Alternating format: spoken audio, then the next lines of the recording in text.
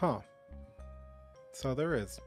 Here's where to find this one. You're gonna make your way into Galaxy Hall, go all the way to the third floor into Commander Kamado's office, look to the right, and then you're just gonna go around this platform here, and there it is. I guess if you have skills, you can catch it from down here.